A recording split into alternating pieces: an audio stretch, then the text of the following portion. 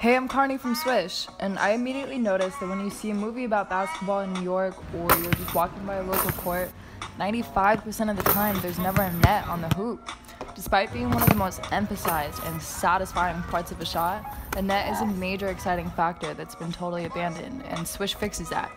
Right now, we're working our way to each court in Brooklyn with new lasting nets, so all of the locals aren't having to walk that extra mile or two just for a court with a net.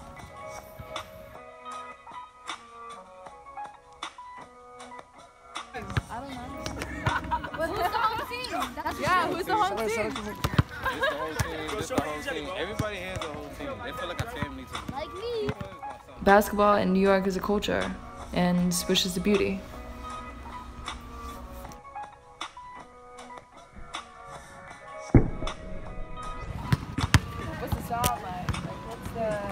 Well, I'm a Kobe fan, so the the only thing I could think of was Kobe in his prime. That's how I feel when I shoot.